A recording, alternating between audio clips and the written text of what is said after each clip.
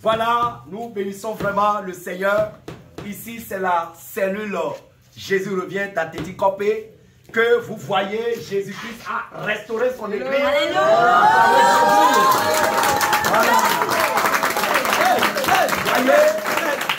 le Seigneur Jésus-Christ a restauré complètement l'église d'Atéticopé, la série d'Atéticopé. Après de longs combats spirituels, l'église aujourd'hui est complètement restaurée et l'église se tient debout.